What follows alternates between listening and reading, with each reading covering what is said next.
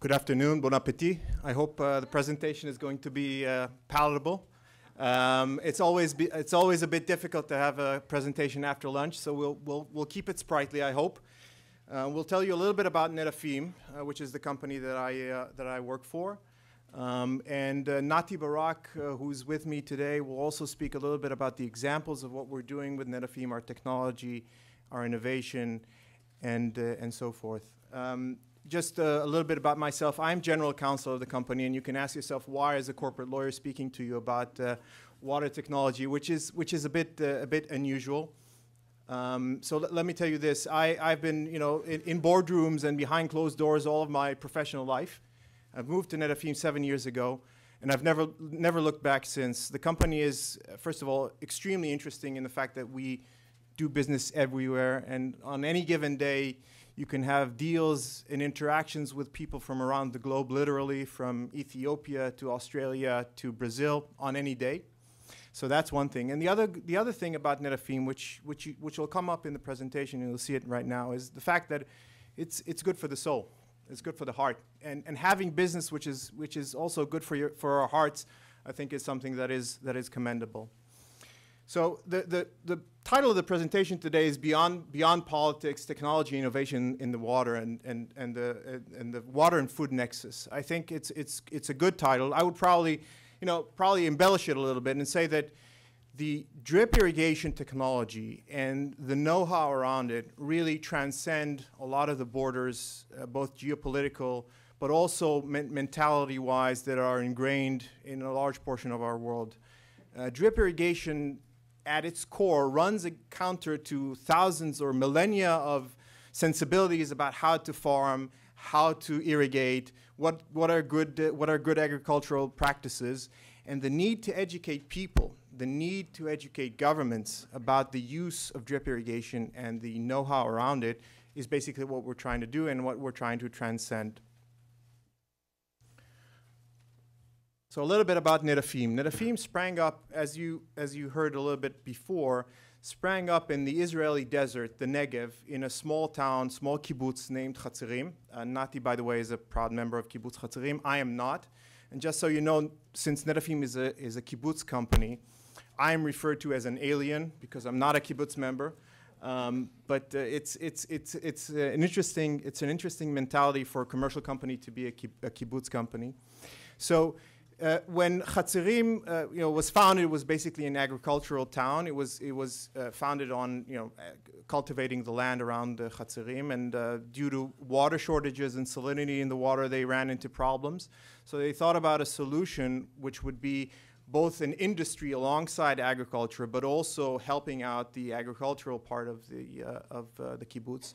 And then they stumbled upon an Israeli inventor by the name of Simcha Blass, who had been the chief engineer for the Israeli uh, national water conveyance system. And he had, and there's a nice story about it. I won't, I won't uh, bore you with the story, but he had stumbled upon this technology, and together they formed basically a joint venture, and they started producing what would be uh, Netafim's principal technology, which is drip irrigation technology, and we'll go in, into details about that in a moment. Uh, so that started in 1965. The results in Chatzerim were spectacular. So much so that, in fact, the kibbutz was thinking about keeping it secret, just keeping it for itself and not uh, deploying it uh, elsewhere. But eventually, sensibilities uh, over, overturned that, and uh, they decided to market it in Israel. Uh, they were very successful. The company was very successful in marketing in Israel. And what, uh, what basically happened, and you'll see that as well, is that Israel became basically a proving ground for drip irrigation technology. So 70% now of Israeli agriculture is using drip irrigation in one form or another to irrigate or cultivate land. And once that was proven, then the, the company could turn its eyes outside of Israel and start exporting the technology, which we're doing today very successfully. Um, we're, we consider ourselves an ag-to-ag -ag business because our roots are in agriculture. What we're trying to do is not sell the drippers. I don't know if any of you have seen drippers. I thought about bringing them today, but they're so small they would probably be lost upon you. They're this small plastic device. There are no there's no uh, there's no IT in it. There's not a circuit board. There's nothing in it except hydraulic principles that make water emit from a pipe at a certain output. That's basically the invention. Of course, there's a lot of There's a lot of know-how around that. There's a lot of IP embedded in that, but it, it, it's basically a small emitter. Oh, you have it there.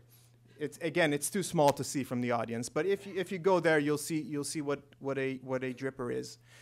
So what what Netafim always set out to do is not only sell the plastic devices, the pipes that have the emitters inside them, but also impart knowledge, impart good practices on our consumers so that they know how to best use the drippers that we're selling them. And that's one of the things that I would hope separate us from the rest of the pack, and there is a pack, but uh, th these are one of our core beliefs, and that sprang up from the DNA of the company, which is basically a, an agricultural community. We are now uh, the, the global leader in drip and micro irrigation solutions. Um, we sell our products in over 100 countries and territories around the world. And if you'll see this map, you'll see where we're based. Uh, these are subsidiaries and manufacturing plants. We have about 27 subsidiaries. As general counsel, I, I have a hard time keeping track of them, you know, closing and opening, but uh, never mind, that's part of my job. And uh, close to 13 plants, uh, sorry, six, 16 in total, 13 outside of Israel. So we have plants in the US, Mexico, Chile, Peru, uh, two in Brazil, South Africa, Turkey, Holland, Spain, two in India because it's a burgeoning market, and, and one in Australia. And, and these really reflect, you know, where we put our plants really reflect where the market is going. So you want to have a plant that is producing pipes, the dripper lines that we're selling, near the market. It doesn't make sense to sell a, dri a, a, dripper line, which is basically a hollow tube, and send it miles away because you're basically transshipping 99% air. So what you see basically is where the demand is and where we need to supply demand locally. That's, that's the raison d'etre of this global presence. Uh, uh in 2013, we received the uh, Stockholm Industry Water Award, and um, we, we, consider it, I don't know how many of you have come across this award, but we consider it the sort of the Nobel Prize of our industry. And we were commended for our pioneering spirit and our presence, and uh, it was a, a, major event for Netafim. Let me tell you a little bit about you know, water and, and, food security. And I, again, you probably know all this and you've heard it uh, from now and again, but where our product intersects with that, I think, is, is something that I need to tell you a little bit about. We, you know, current estimates have the world's population uh, growing by at least three more billion people by mid-century, by 2050. Um, food availability will not keep up with that with current practices. The world would need to, uh, at that time, in conjunction with that uh, population growth, will need to add one or double the production of, growth, uh, of, of food sorry, to, to sustain that population. And the agri agribusiness, uh, uh you know, productivity must increase in order to support that. If, if you do not change the way that you cultivate right now, if you do not change the mindset, you will not be able to keep up, again, at least to, uh, according to the information that we have, you will not be able to keep up with that demand, or that growing demand and growing strains uh, on, on, on the population. Agriculture, as you know, is the largest consumer of, of uh, potable water in the world. Over 70% of uh, available water goes into agriculture. About 10% goes into uh, homes, consumer water.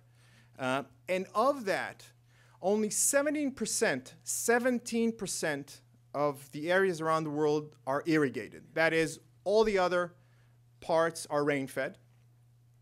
But of that 17%, they provide 40% of the global food production. So you can see why that is important, why irrigation is important.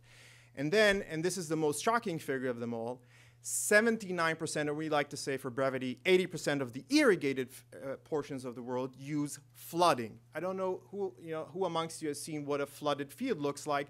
A good example would probably be a rice paddy, but there are other examples along that it's probably the most inefficient, probably the most onerous way that you can use water in order to irrigate a field. You basically open up the siphon, you know, open up the tap and let the water run through the field. It's inefficient. It causes, uh, you know, runoff of the topsoil.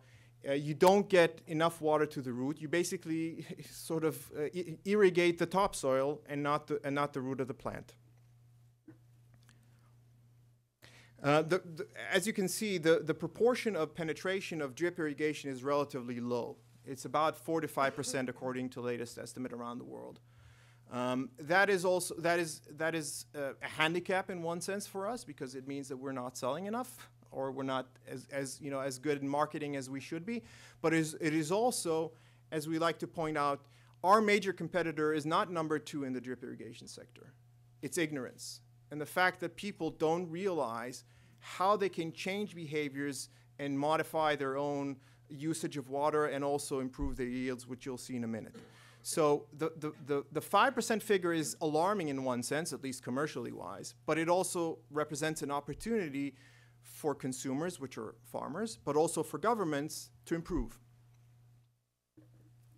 These figures, uh, again, I don't know uh, which of you has seen these figures in the past. They are uh, startling in the sense that you, you, you understand how much water it takes to manufacture stuff, stuff that we wear, stuff that we eat, things that we you know don't think about. It takes over 4,000 liters of water to, uh, to make one pair of jeans. Can you realize that amount? Because of the amount that needs to go into cotton. Cotton is very uh, intensive in terms of water usage, and so forth and so on. Uh, you also note the, the last line, which is beef, and, and that is an exorbitant amount. And you, we've all heard about the fact of changing tastes in, in, the, in, the, in the Far East in terms of more consumption of, of raw meat, of, of, sorry, of red meat and so forth. That is a pressure that's going to keep on building up as, as we go along in the century. We've talked, we've already spoken a little bit about flood and furrow irrigation as these are the examples, you know, best examples of flooding a field. Uh, it, it, it causes depletion of water so resources because you use more water than you actually need to irrigate and cultivate the plant. Uh, you need more chemicals, more pesticides, more nutrients because they run off. Um, and and, and essentially, this is, this is an inefficient way to irrigate a field and one which is inconsistent with where we are in terms of the population and, and growth in the world. So the key issues and challenges that we're talking about and, and the intersection of these, of these issues is, is very important for us. We're talking about food, fo fodder, fiber, and biofuel all competing for the same resources in the world, all competing for water, which is limited and growing limited, arable land, which is a finite resource no matter how you turn it in the world. There's no more arable land that we can use right now. And there's a, and there's and there's a, you know continuous pressure on that coming from our climate changes forces. Um, energy, which is you know if you look at it and, and, a historical perspective is, is also rising. And then there are social and political uh, issues around poverty alleviation and gender equality and urbanization. And all these are also pressuring you know, putting pressure, applying pressure on the agricultural sphere and, and the amount that it can produce. And drip irrigation historically, and this is perhaps the most significant line that I can, I can share with you, drip irrigation, if applied correctly, addresses, I wouldn't say solve because that would, you know, that would probably be too much of me to say, but it addresses, alleviates a lot of these concerns. If you apply it correctly, if you apply the right methodology around drip, then you alleviate a lot of these concerns. You use less water, less energy, and you produce more. I think uh, you, you heard a little bit about Netafim's, uh, sorry, Israel's, I'm, confusing Israel and Netafim. I think that's, uh, that's good. Um, but you've heard a, bit, a little bit about Israel's solutions to the water scarcity issues, about use of wastewater and use of brackish water and, and the efficient management use of, of water. I, I, think I'll run through these. We also have a little bit amount of time. I, I want Nati to talk about uh, the examples later on. So let me run through that. But you've heard about the reuse of, uh, of wastewater in, in, in certain countries and the fact that Israel is leading the way in terms of having 80% of uh, uh, wastewater treated and, and reused. Um, and the obstacle to water use, I think you've, you've also heard from Alon. Um, again, these are issues that we are all dealing with. Israel is dealing with them in, in I think, in, in a sense that, that is helping the, the country's water management and helping us, uh, you know, go, go, through the, uh, the arid uh, period that we're having. Um, let's talk about subsurface drip irrigation a little bit. Generally speaking, drip, uh, drip irrigation can be applied either above surface or below surface. If you use it below surface, what you do is you reduce surface contamination because you don't throw into the ground or the topsoil, you don't throw nutrients or pesticides. It doesn't have contact with the fruit, reducing uh, the chances for disease because you irrigate, you drop water into the root of the plant without applying it to the ground or applying it to the fruit. Uh, obviously, wild animals or any, any type of rodent would, wouldn't be able to drink the water or access the pipe and, uh, and, and disposals of effluents are inside the ground and not on the topsoil. So these are uh, some of the attributes that you have on, on subsurface drip irrigation. Again, I, will jump through this because of, of lack of time. Uh, th these are the local treatment facilities we have in the south of Israel. Um, the camel photo is from Hatzerim, by the way. Not that we are growing camels in Hatzerim, but it is from there. Um, a little bit about uh, drip irrigation, which I've, which I've mentioned. So drip irrigation has the ability to optimize moisture and aeration conditions in the plant because you irrigate exactly the right amount. It ensures precise quantities of water and nutrients that come into the root zone. What you would see is a bulb-shaped uh, moisture zone around, around the, uh, around the uh, root instead of having it above soil. Um, you uh, use precisely the right amount of uh, fertilizers, which are soluble in water, and you don't need to use more than you, than you should. And you increase the yields by up to 50, 100%, depending on the practices, depending on the crop, depending on the area and the atmosphere and so forth. But you can boost, you can double your yield if you use it correctly. And what you'll see in Nati's uh, portion of the presentation is even when you have farmers in very underdeveloped uh, parts of the world, uh, sustenance or hitherto sustenance farmers, you could you could see that on average we could increase between a quarter and a half of the of the yield uh, of, of a given farmer. These are pipes on on surface, and obviously these are subsurface. So the drippers. Um, this is the product. As I told you, these are very small, as blown up here, so you could you could see them. What they do basically is they negotiate between the pipe and the root. So you would have, uh, if you can, if you look at that, you, you see these small teeth. This is what we call the labyrinth. And the labyrinth, as we found out, has the characteristic of breaking the pressure of the water. And when you apply correct dimensions to the teeth, you could also regulate the output of uh, the dripper. So you'd know exactly how many drops per hour are emitted by the dripper into the plant depending on the crop, obviously. There are other characteristics around the dripper which are uh, embedded inside. Namely, it has the capacity to throw back uh, dirt or other particles that may block it. And other types of drippers have the ability to compensate for pressure. So if you lay the pipe on a hilly area instead of a flat area, you could have the same output at the, at the bottom of the hill as you would have at the top of the hill by means of, of pressure compensation. So this is the, the wonderful story of the, uh, of the dripper. Uh, in, in the past decade or so, we've introduced low pressure systems. They are designed to deal with areas where energy is, is scarce, um, and therefore they utilize lower energy to, uh, uh, to uh, send out the water into the pipes.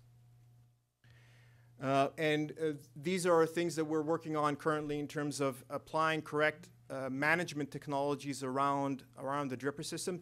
These are electronic systems that we're selling also to our customers. Typically, you would not find them in the setting of an Indian or Chinese or African smaller farmer, but you do see them uh, in other parts of the world where you could have systems that open and shut and, and uh, correctly mix uh, you know, nutrients and fertilizers inside um, and also relay back uh, whether there are any issues uh, back to the back to the farmer.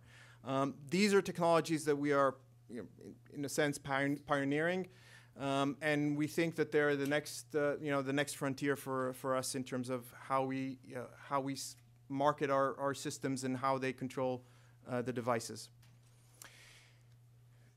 This is perhaps the family drip system is perhaps the ultimate example of what we do that I would say uh, goes directly to the heart. This is a system that we essentially pioneered about a decade or 15 years ago. I'm not sure of, of the exact time frame, Nati, but one that is specifically designed to address uh, farmers in, in difficult countries, farmers that are uh, sustenance farmers, farmers that have lack of access, do not have access to energy, um, and sometimes have, an, have a hard uh, task of locating water.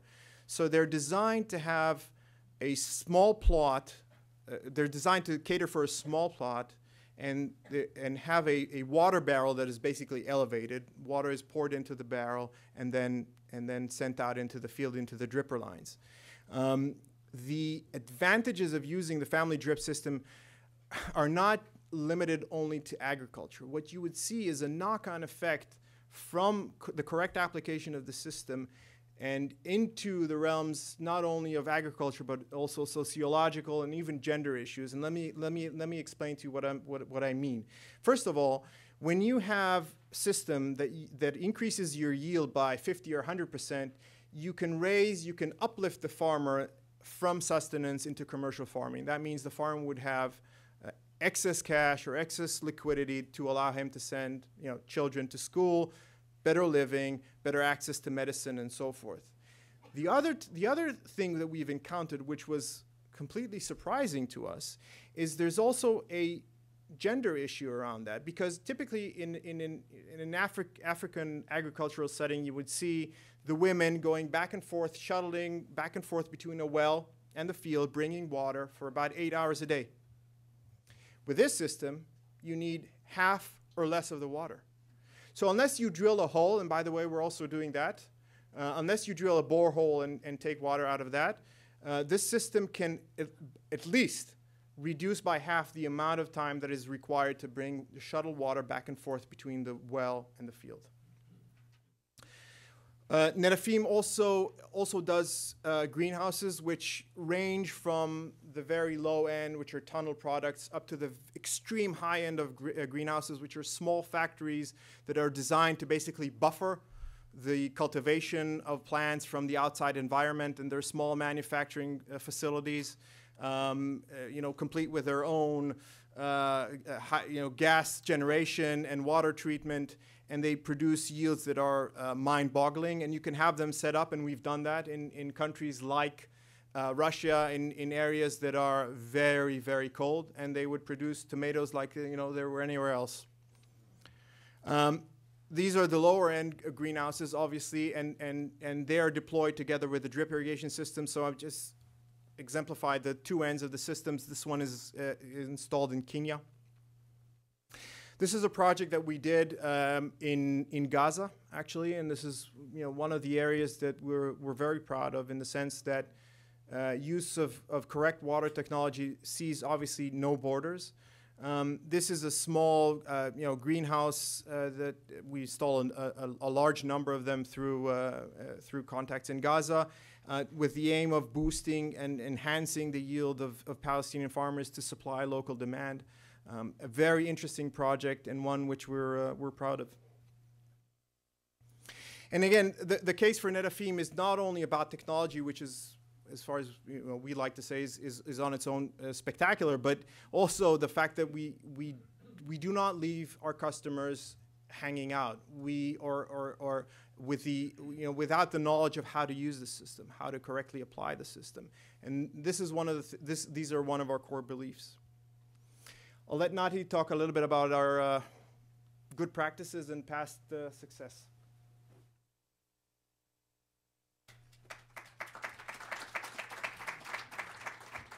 Hi, good afternoon. It's a pleasure to be here. Thanks for inviting me. Uh, good practices. I, my name is Nati Barak. I'm a member of Kibbutz Hatzerim. I was privileged to be there when we started drip irrigation. At that time, I didn't want to join it. I didn't leave my middle class family in the city and went as a pioneer to the Negev, to the desert, to become a plumber in plastic. And this was the way that I looked at it. And I said, no, I'll never join Netafim. It uh, didn't take much time, and I did join Netafim. And uh, I've been there since that time. Uh, perhaps uh, Ran gave a, a, beautiful description of what Netafim is, and perhaps to uh, show you the reality uh, through uh, a few examples, what we say, uh, you know, good practices. So the first one is the Israeli Arava Desert, and again, I have a special place for the Arava. As a young salesman at Netafim, this was my region. Of course, I was not salesman. This has a negative connotation to it. I was a field worker for Netafim. We never used the term uh, salesman. So when you drive from Beersheba to Eilat and you look to the right, this is what you see. It's a beautiful picture. I love this area. When you look to the left at Moshav Ein Yahav in this case, it's the richest agricultural area in Israel. 65% of Israel's uh, vegetable export comes from the Arava. And this is a beautiful example of partnership because the Israeli government, through the extension service of the Ministry of Agriculture, did holy work and uh, an NGO, Jewish agency, JNF, you know, they collected donations and each farmer received a seed money. And then the private sector, which is not only us, it's also fertilizers, seed manufacturers, and so on, and of course the farmers. And those partnerships in many places are the key to success. And another example for a nice partnership is India. We did a huge project in India, close to 200,000 farmers, smallholders. Uh, the, the average farmer has perhaps three acres and various crops. And the, the, the state of Andhra Pradesh, which is the third largest state in India, they had a severe water uh, challenge and they were looking for a solution through drip irrigation and other efficient irrigation systems, uh, through subsidies and, and very strict standards that they set for the irrigation companies that participated in the project we did uh, this project, and up to 70%, 50% if you move to sprinklers, and 70% subsidy if you move to drip. Uh, they finance this uh, project, and these are the results. And when uh, Ran showed you the, the, the first slide was you can save uh, in the 70% that we are using for agriculture, Look at the savings. I mean, 50% uh, of the farmers saved up to 50% of the water. Another 20% of the farmers saved between 51 to 75% of the water. And look at the yield increase. And again, about 41% of the farmers had uh, increase in yield of up to 50% and so on. But then a professor from Ben Gurion University, a colleague of Alon, Professor Aviad Raz, went to do his own survey. And his survey was from the sociological point of view. And he came back to me and he said, Nati, as always, you are missing the point. You are constantly talking about uh, return on investment and increase in yield and savings in water, and you don't see in front of your eyes what is happening to the society in those villages. Uh, he was a little bit carried away, so he said, uh, from subsistence farmers, they became ag business entrepreneurs. So I don't know how much they are ag business entrepreneurs, but suddenly they became commercial farmers because they specialized in a certain crop and they bought together with the next door neighbor a, a motorized rickshaw and, and they became commercial farmers. And this is something incredible, and, and this is, I think, we are very fortunate being part of it. Kenya, Kitui, this was an NGO. Again, I have to remind myself that we are not an NGO. We are a for business company. I keep forgetting it, but fortunately, we have a CEO that brings me back uh, to line.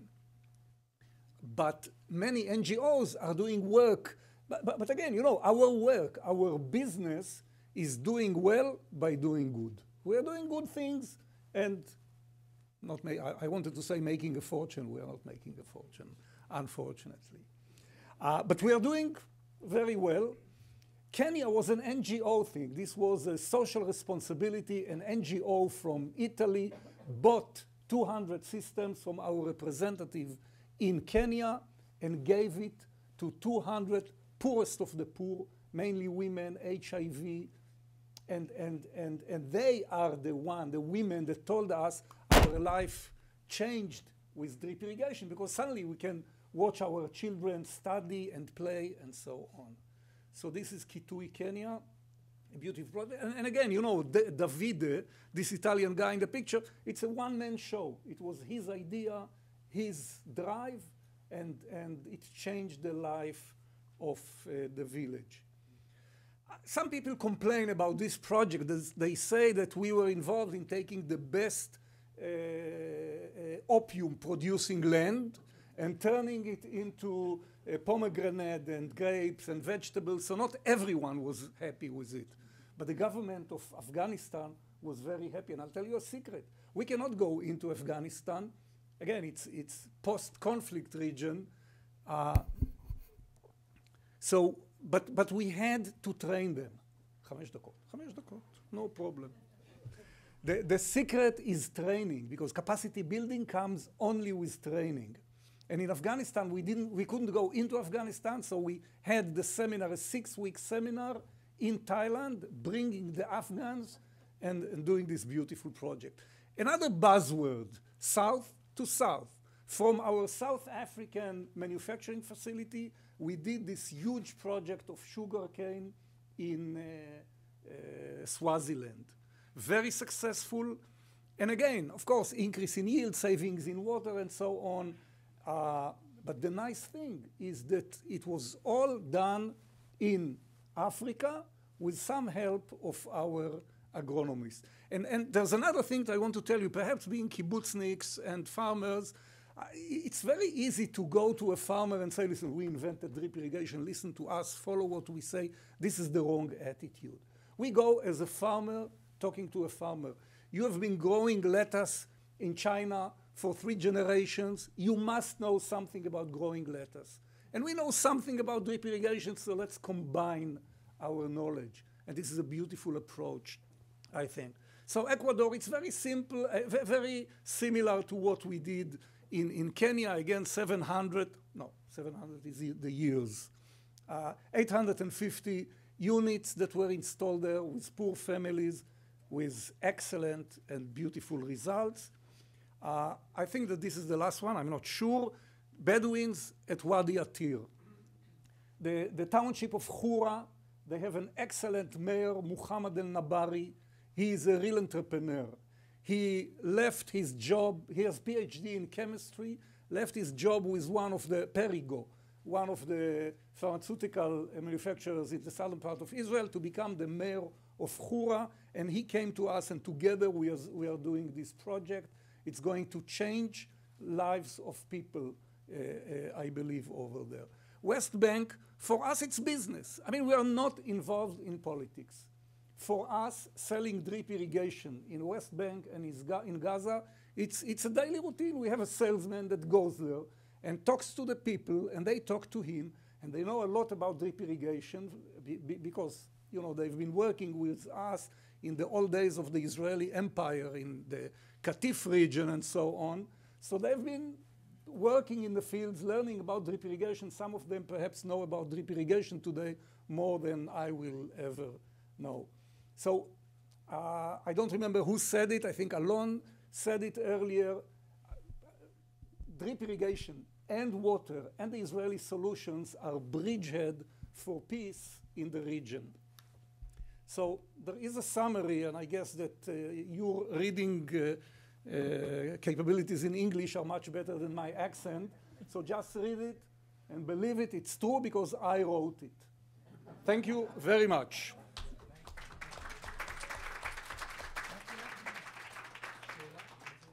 Uh, thanks.